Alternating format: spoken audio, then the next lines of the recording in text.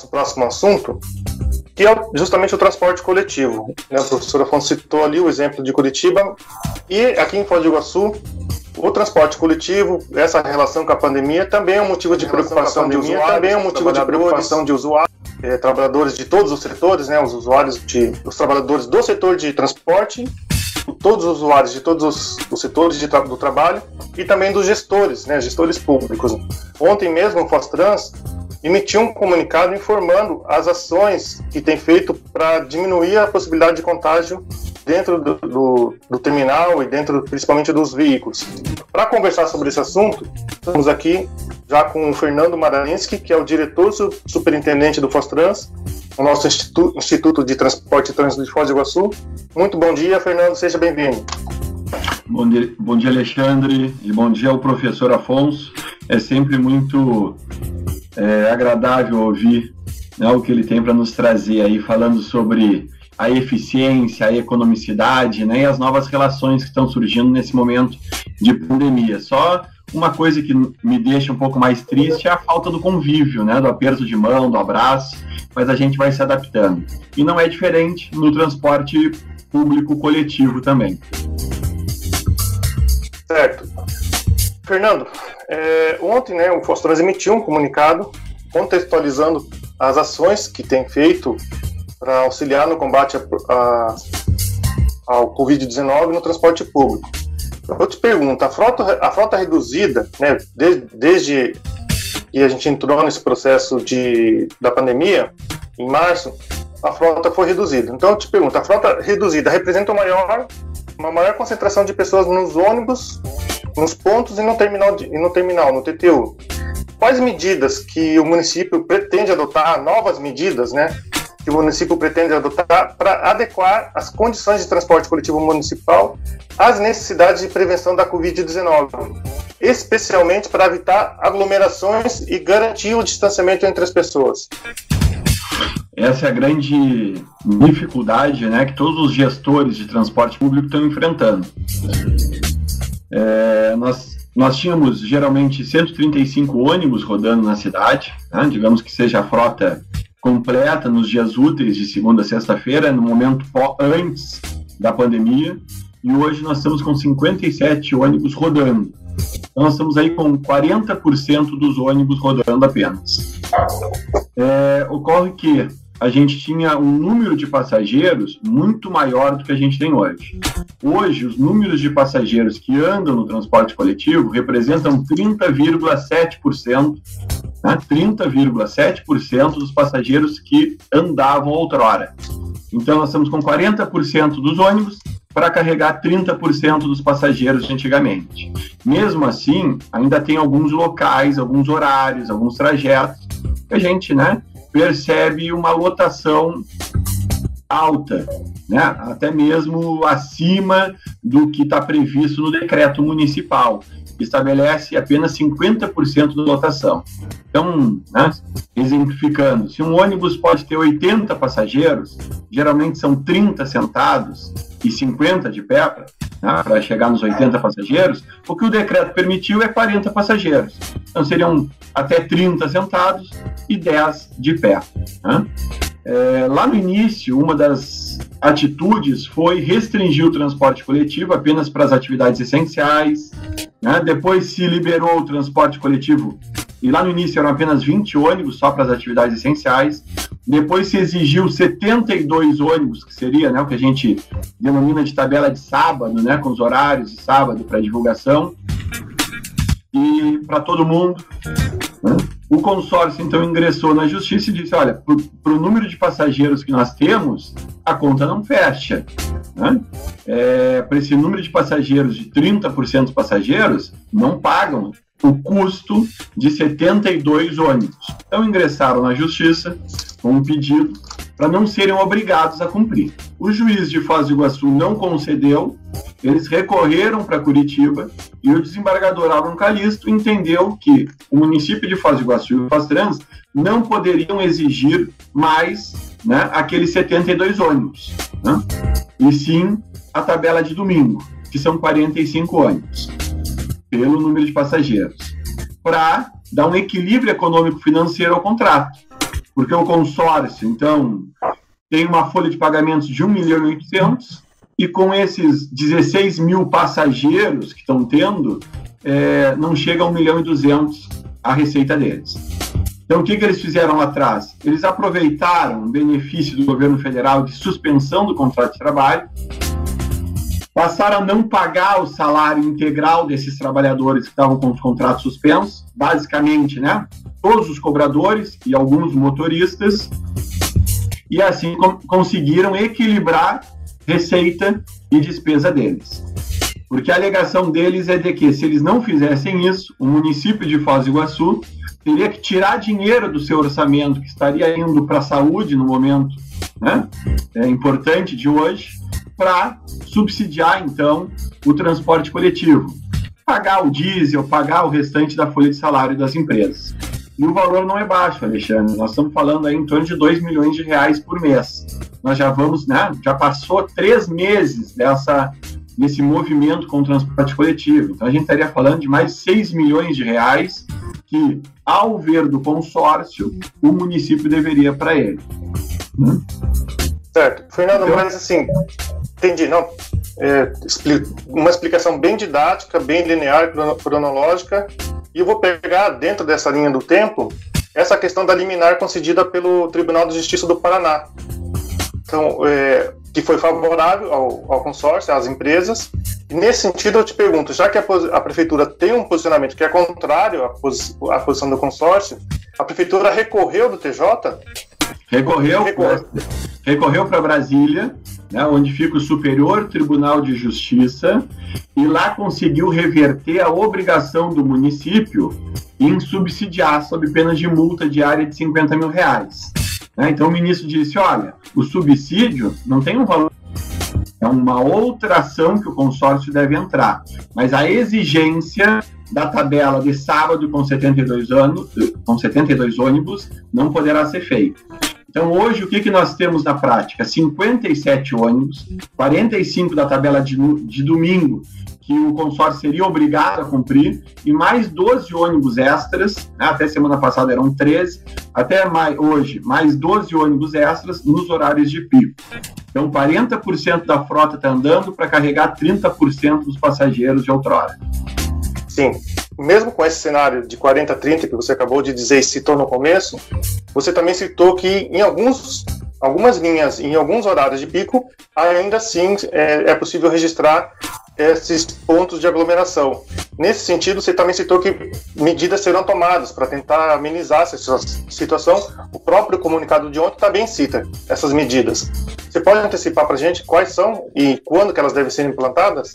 Olha, uma das medidas é cancelar as gratuidades no transporte coletivo.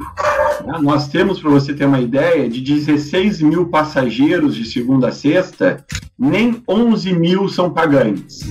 Então aí a gente tem no mínimo a metade dessa diferença, 2.500 idosos ainda trafegando no transporte coletivo de Foz do Iguaçu, o que é, aumenta o risco de contágio desses idosos que pertencem ao grupo de risco.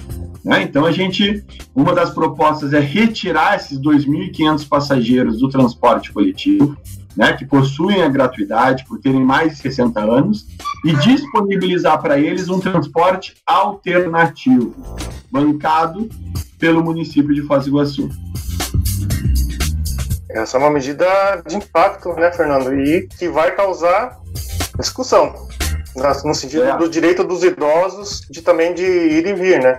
É, vários municípios já fizeram isso, né? Cascavel, um deles que está aqui próximo, né? Essas pessoas elas devem ficar em casa, mais ainda agora. Né? E a gente constata nas entrevistas que a gente faz lá no TTU, no Terminal de Transporte Urbano de Foz, no centro, que muitos idosos saem para fazer as compras dos seus filhos, dos seus netos, né? Então, estão se colocando em risco, fazendo uma viagem de ônibus, né? É, e às vezes até mesmo retirando o espaço dentro do ônibus de um trabalhador que está indo para sua casa ou fazendo trabalho vice-versa, né? Indo para o seu trabalho porque está limitada a capacidade em 50% hoje. Então, nós estamos estudando formas de contratação de vans, e aí entram vans de turismo, vans escolares, né, que nós temos tantos, tantas né, eh, no nosso município, né, para prestar esse serviço alternativo. E aí iria abranger todo o município, tais como as linhas, né, bairros, centros, principais regiões da cidade?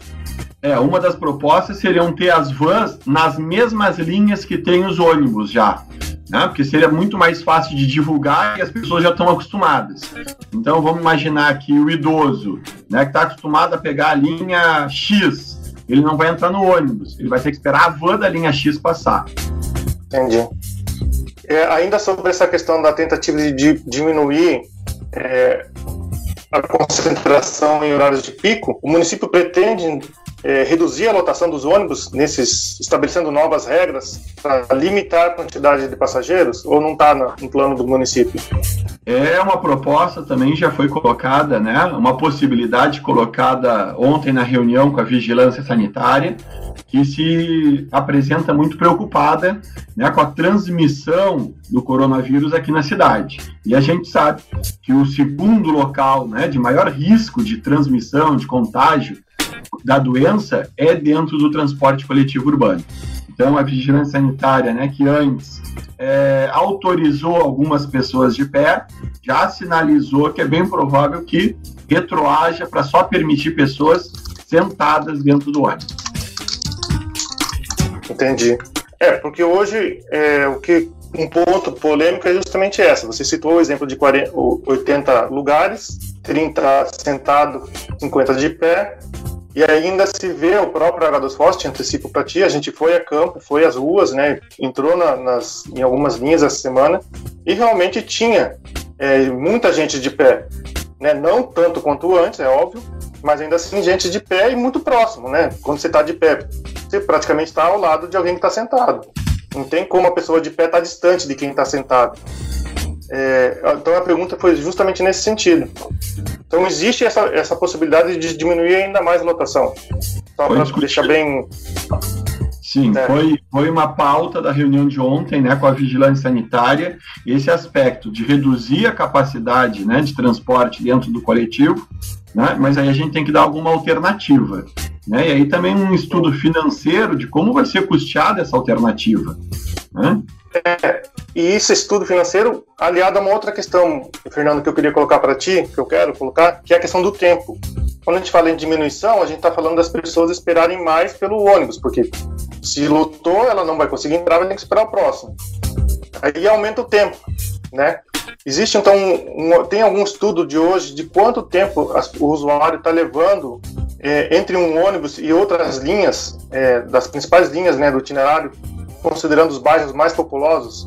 Aumentou esse tempo? Também dá para equilibrar isso? Não, a tabela de domingo né, é muito mais espaçado é, o ônibus, o horário dos ônibus, do que no dia normal, antes pandemia. É, então, o que a gente percebe olhando as tabelas né, com os horários dos ônibus é que os ônibus passam a cada 40 minutos, né? E antes passava a cada 15, 20 minutos. Então, sim, com a diminuição de número de ônibus, consequentemente, né, o horário que eles passam, a frequência de passagem dos ônibus aumenta. Tem uma pergunta aqui da professora Ana Fonseca na nossa live. Eu vou ler para ti.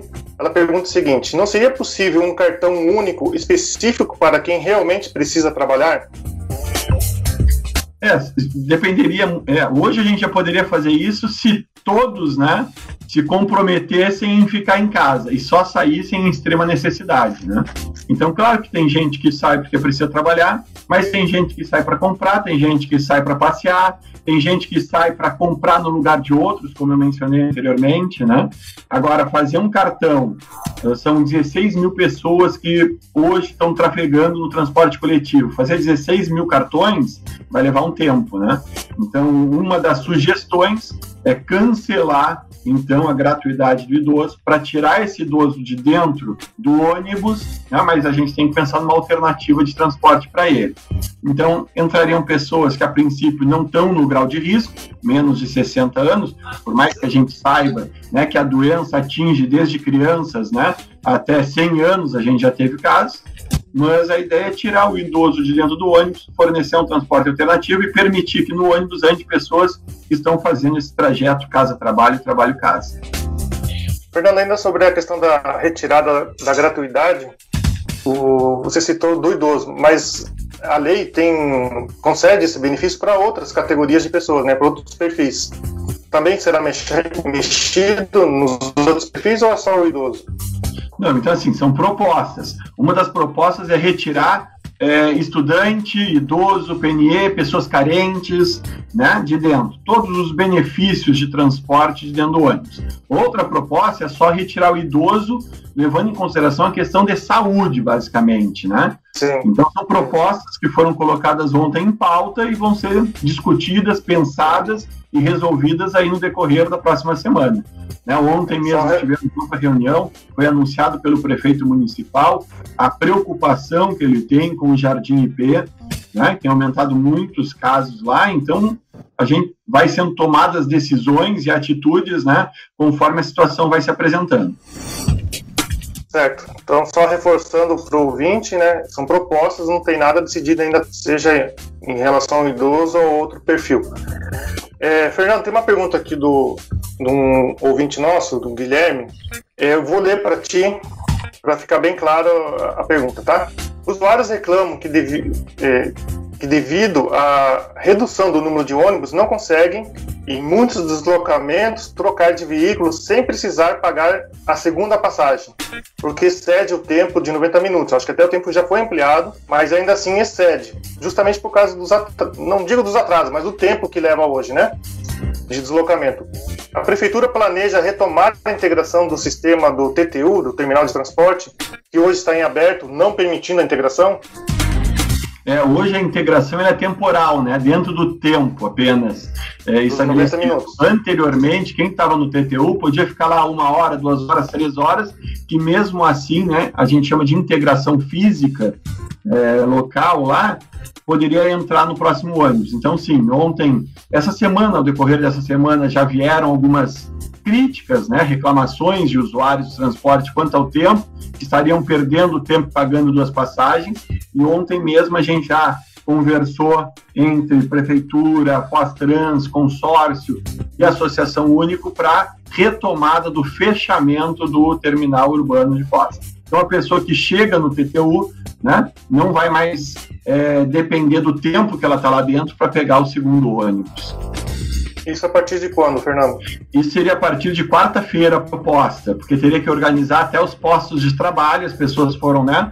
Os contratos foram suspensos deles também, então para chamar, né? Aqueles vigias da Associação Único que se tinha lá cuidando para não deixar as pessoas entrarem sem pagar, né? Teriam que ser chamados, então segunda-feira serão chamados para começar na quarta.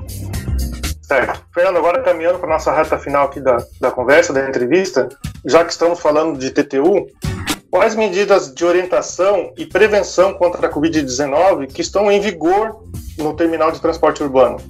Então, quem comparece lá no TTU percebe que foram disponibilizados né, vários dispensers de álcool em gel pelo TTU, é, que mais? Colocamos, fixamos no chão diversos tapetes sanitizantes, né? Então as pessoas para embarcar dentro do ônibus ou para desembarcar nas três portas dos ônibus, né? Tem o tapete com água sanitária dissolvido em maior quantidade de água.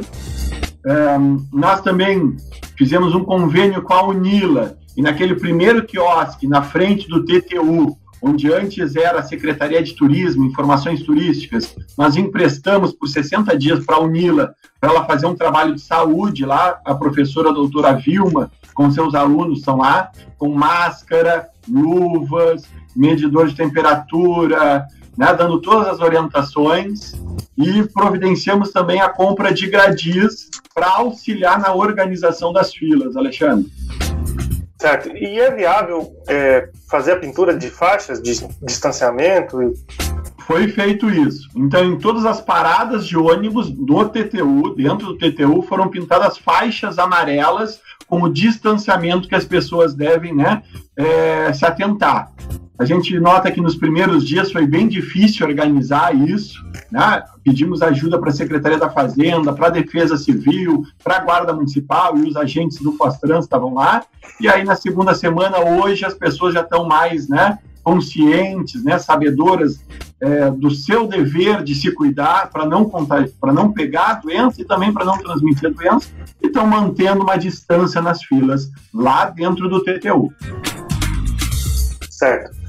Fernando, é, deixo agora espaço aberto para ti, para as considerações finais e desejar, te desejar, desejar um ótimo final de semana, um, um bom trabalho aí frente a esse momento crítico aí do município, do país como um todo, né? Não só nosso país, mas todo o planeta.